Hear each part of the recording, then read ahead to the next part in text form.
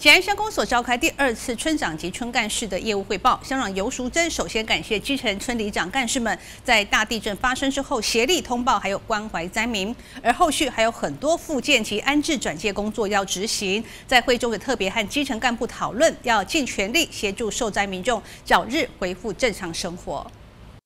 吉安乡公所一百一十三年第二次村长及村干事业务汇报由乡长尤淑珍主持。会议首先感谢基层村长和村干事们在大地震发生后协力乡公所积极通报及关怀灾民，后续还有很多相关工作要协助民众复建家园，正是这一次会议要讨论的重点。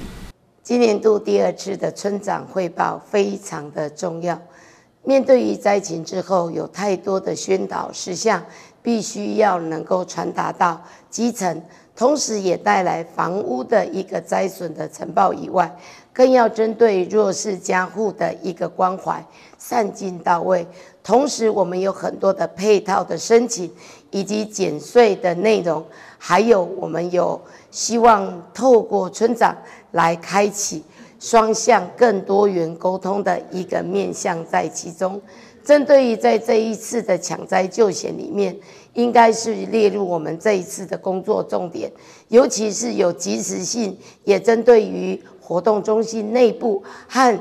民众在生活事性上要抢灾、要及时、要防护安全的这些重点，都是在今天一定要首先来做好。做满的，所以我们希望吉安乡的行动力跟效能要坐在最前面，也要开启最安全、更适性到位，来作为一个晨报，让我们可以及时做好防护，很重要的一个会议在其中。